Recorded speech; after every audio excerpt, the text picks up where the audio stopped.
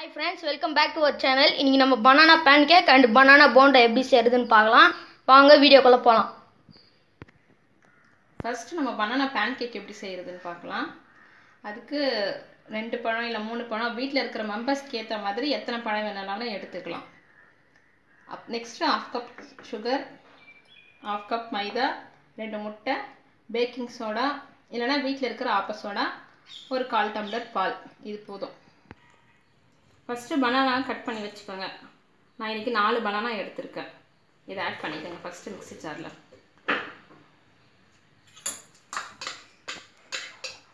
Banana half cup sugar முட்டை ரெண்டு.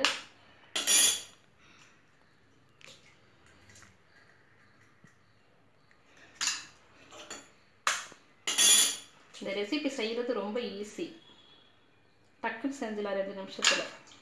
Next இந்த கால் டீஸ்பூன் பேக்கிங் சோடா மைதா மாவு. அரை கப்பு முக்கால் கப்பு கால் கப்பு பனானாக்கு ஏற்ற மாதிரி மெம்பர்ஸ்க்கு ஏற்ற மாதிரி நம்ம எவ்வளோ நாளும் ஆட் பண்ணிக்கலாம். இந்த ரெசிபிக்கு தண்ணியில் ஆட் பண்ணக்கூடாது. ஒன்லி மில்க் சேர்த்துக்கலாம்.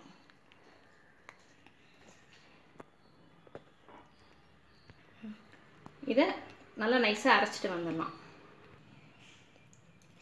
இது போல் நல்லா நைஸாக அரைச்சிடணும். தண்ணி ஊற்றக்கூடாது நல்லா திக்காக இருக்கணும்.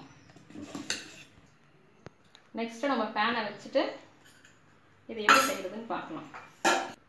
பேன் சூடு தான் ஒரு ட்ராப் நெய் விட்டுக்கோங்க.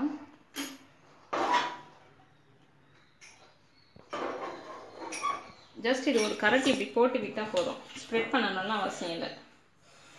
திக்காக நல்லா கனமாக இருந்தால் போதும். ஸ்ப்ரெட் பண்ணிவிட்டு இதை அப்படியே மூடிடுங்க. மீடியம் ஃப்ளேமில் வச்சுக்கோங்க. ஹையில் வைக்காதீங்க தீஞ்சிடும் கருப்பாயிடும். நெக்ஸ்ட்டு இதை அப்படியே திருப்பி போடணும். உங்களுக்கு கீ வேணான்னா நீங்கள் ஆயில் கூட சேர்த்துக்கலாம். பனானா பேன் கேக் ரெடி இப்போ நம்ம பனானா போண்டா எப்படி செய்கிறதுன்னு பார்க்கலாம். பேன் கேக்கு நம்ம மைதா மாவு சேர்த்தோம்.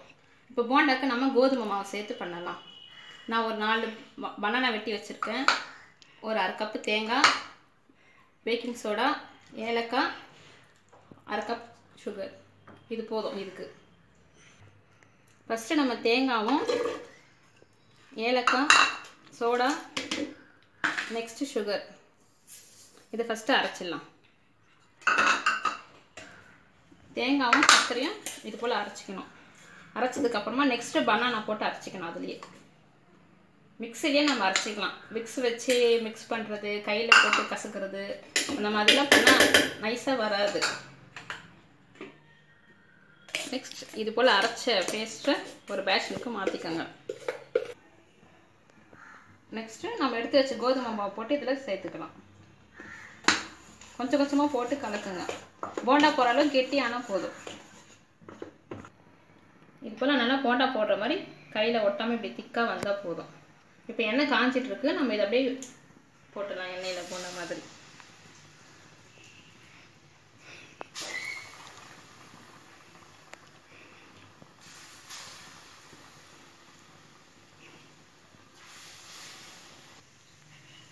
இது ரொம்ப நேரம் வேகாது. ரெண்டு நிமிஷம் போதும். டக்குன்னு திருப்பிட்டு கொஞ்சம் சேவந்ததை எடுத்துக்கலாம். கொஞ்சம் மீடியம் ஃப்ளேமில் வச்சுக்கோங்க. எல்லாம் கருப்பு கருகிடும் okay banana bonda banana pancake ரெண்டுமே ரெடி ஆயிடுச்சு. இது டீ ஈவினிங் டீ போடுற டைமில் ஃபைவ் மினிட்ஸில் செஞ்சு முடிச்சிடலாம். டூ மினிட்ஸே போதும் ஃபைவ் மினிட்ஸ் கூட தேவையில்லை. எல்லா திங்ஸும் எடுத்து வச்சுட்டு நெக்ஸ்ட் மிக்சியில் அரைச்சிட்டு எண்ணெய் சூடு என்னதும் போண்டா போட்டுடலாம். பேன் சூடு என்னதும் திருப்பி போட்டு எடுத்துடலாம் பேன் கேக்கு போண்டா நல்லா மேலே கிறிஸ்பியாக வந்திருக்கு. உள்ளே பாருங்கள் நல்லா ஸ்பாஞ்ச் போல். நல்லாயிருக்கும் ஈவினிங் சாப்பிட்றதுக்கு ஸ்நாக்ஸ்க்கு நல்லாயிருக்கும் மார்னிங் பிரேக்ஃபாஸ்ட்டாக கூட இந்த பேன் கேக் எடுத்துக்கலாம். ஈஸி ஸோ ஃப்ரெண்ட்ஸ் நான் நேற்று லாஸ்ட் வீடியோவில் பறக்கும் போதே தூங்கும் ப பறவை எது அப்படின்னு கேட்டேன் இல்லையா? அதோட ஆன்சர் வந்து பருந்து அதாவது ஈகல் ஸோ இன்னைக்கு இன்னைக்கான கொஷின் வந்து ஐந்து கண் உடைய பூச்சி எது? Which is the insect that have five eyes thank you